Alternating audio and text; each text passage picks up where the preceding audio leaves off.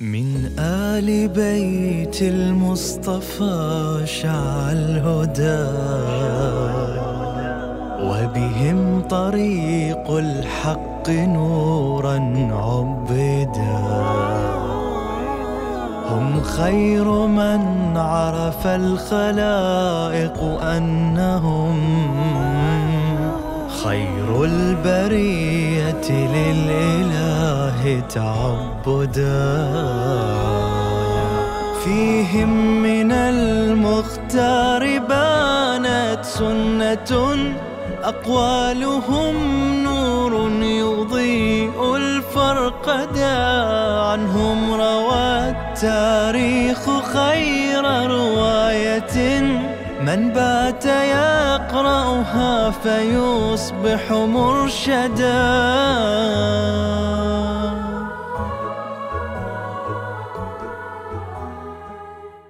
بسم الله الرحمن الرحيم. السلام عليكم ورحمة الله تعالى وبركاته.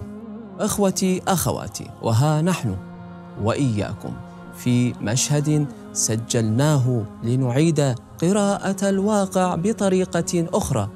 إذ إن فيه ما فيه من الدروس والعبر. كثر الكلام عن الشيعة صفاتهم أخلاقهم. وهل إن كل من اتبع محمدا وآل محمد هو شيعي؟ أم لا؟ القول الفصل في هذه الأسئلة. نقلناه لكم اليوم عن لسان الإمام الصادق عليه السلام إذ يوضح كما في المشهد القادم.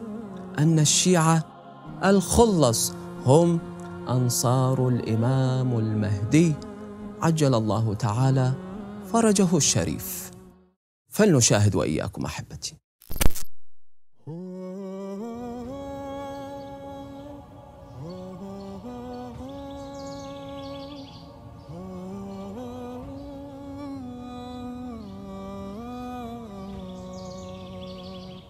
أما زال مولانا الإمام يصلي؟ لم ينتهي بعد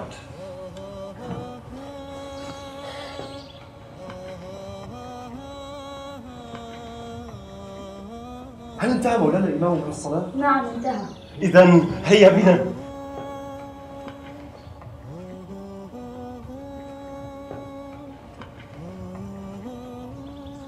السلام عليك يا ابن رسول الله جعلت فداك. والله إني أحبك وأحب من يحبك. ما أكثر شيعتكم. أذكرهم. كثير. تحصيهم. هم أكثر من ذلك بكثير يا ابن رسول الله.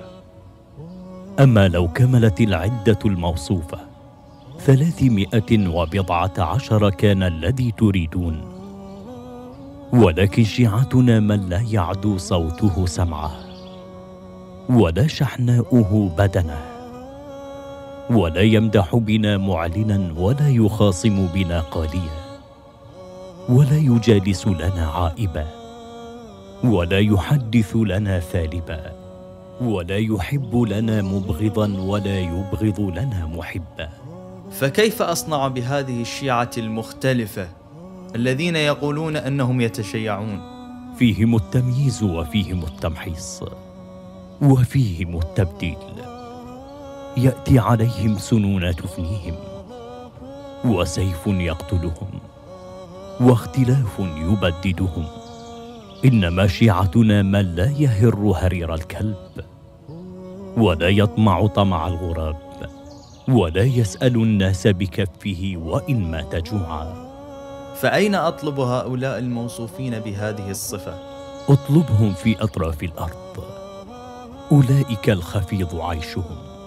المتنقلة دارهم الذين إذا شهدوا لم يعرفوا وإن غابوا لم يفتقدوا وإن مرضوا لم يعادوا.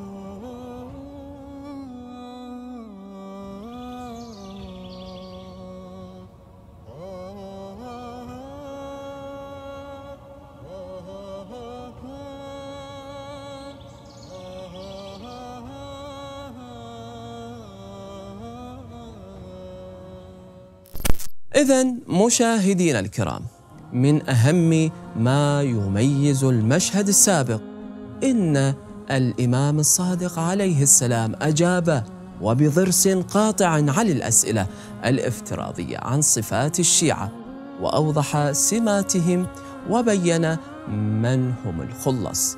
منهم مجددا فينا روح الأمل بلقيا صاحب العصر والزمان. عجل الله تعالى. فرجه الشريف من خلال حسن اتباعه. في أمان الله. أرباب علم والحليم مريدهم من زاغ عنهم في جهنم خلدا. ما إن تمسكتم بهم فلتعلموا أنتم بها الأعلون إن حل الردى. هم خير آيات وخير تلاوة. أبناء فاطمة وفيهم يقتدى. إذ لن تمس النار جسم محبهم فاطمع إذا في حبهم وتزودا.